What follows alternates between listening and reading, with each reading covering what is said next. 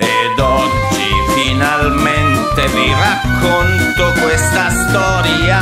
Lo so che quelli grandi non la capiranno mai, ma è bello quando è notte stare zitto ad ascoltare. Le stelle sono come dei sonagli da vibrare. Chissà cosa è successo sul pianeta.